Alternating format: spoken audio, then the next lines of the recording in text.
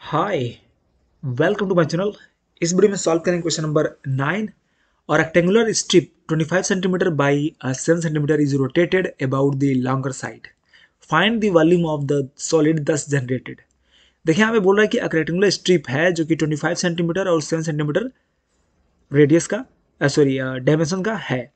मतलब कि यहाँ से लेकर ये जो लेंथ है और यहाँ से लेकर के और यहाँ तक ये कितना है? ट्वेंटी फाइव है और ये जो है, यहाँ से सॉरी ये आपका जो है सेवन सेंटीमीटर है। मीन्स यहाँ पर हम लिख सकते हैं कि this is twenty five and this is seven okay so अब यहाँ पर कह क्या रहा है कि इसको लॉन्गर साइड के अलोंग या अबाउट द लॉन्गर साइड हम इसको रोटेट कर रहे हैं। देखिए रोटेट करना और रोल करना दो चीज़ें हैं। रोटेट करने का मतलब यह है कि किसी एक्सिस के अलोंग हम इसे रोटेट कर रहे हैं। मतलब किसको? घुमा रहे हैं बस। तो घुमाने से एक सॉलिड जनरेट हो जाएगा। ठीक है? इस स्ट्रिप को यदि हम ये वाला जो साइड है, यदि मान लीजिए कि ये जो साइड है, इसको हम फिक्स कर दें। मतलब एक जगह फिक्स कर दें और इस, इसी के अलोंग जो है हम रोटेट कर दें। यहाँ पर, इस वाले ऐसे रोटेट कर दें तो बन जाएगा एक ये सिलेंडर कैसे बनेगा? मैं आपको दिखा रहा हूँ। तो रोटेट करने का मतलब ये होता है। मतलब ये इधर की तरफ़ आएगा। इसको मैं लगभग जितना ये साइज़ रहेगा, उतना ही होगा ये। और उसके बाद ये वाली लेंथ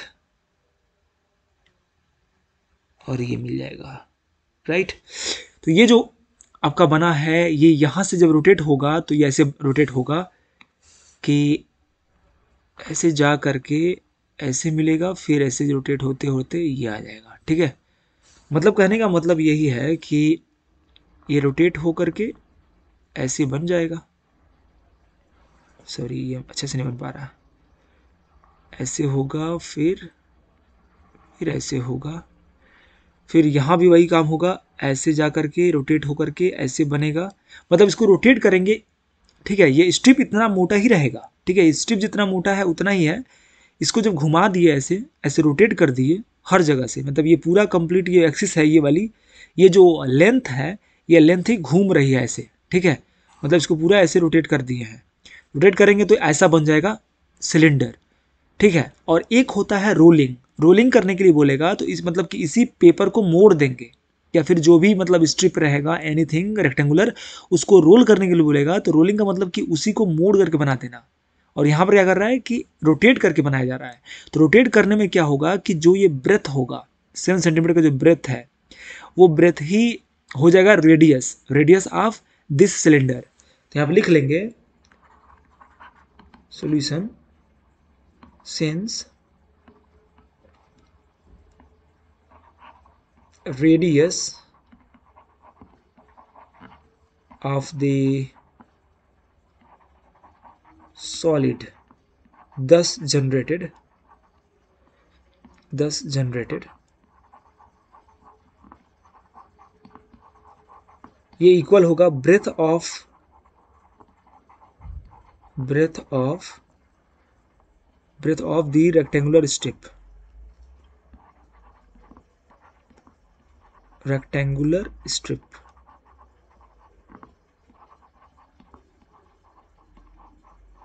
okay तो ब्रेथ कितना है? सेवन सेंटीमीटर मतलब रेडियस आपको निकल गया।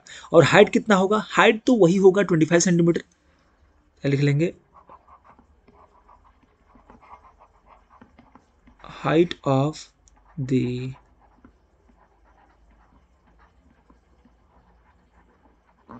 rectangular strip तो इसकी जो हाइट है वो क्या हो जाएगी? 25 सेंटीमीटर राइट तो अब करना क्या है हमें? फाइन करना है इसका वॉल्यूम तो सो so, अब तो वॉल्यूम फाइंड हो जाएगा क्योंकि हमें रेडियस मिल गया है और हाइट मिल चुकी है तो वॉल्यूम इजकल टू होता है pi r square h equal to pi की वैल्यू होती है twenty two by seven into r की वैल्यू मतलब कि सेवन है और सेवन का स्क्वायर करेंगे इंटू हाइट की वैल्यू यहाँ पर ट्वेंटी फाइव दिया हुआ है हाइट यहाँ पे हो जाएगा twenty two by seven multiplied by seven का square means seven multiplied by seven into twenty five seven one जा सेवन सेवन जा सेवन ये हो जाएगा सेवन टू जा फोर्टीन सेवन टू जा फोर्टीन एंड सेवन टू जा fourteen one fifteen one hundred fifty four multiplied by twenty five twenty five four जा कितना होता है? हंड्रेड का zero, ten carry over. Twenty five five जा one twenty five और one thirty five हो जाएगा। तो वन थर्टी फाइव का फाइव हो जाएगा, thirteen carry over. Twenty five twenty five twenty five and thirteen, twenty eight and thirty eight. Means आ जाएगा three thousand eight hundred fifty centimetre cube. Centimetre cube. Okay, this is the required volume generated by required volume of the solid generated by rotating this rectangular strip. Thank you so much for watching. Bye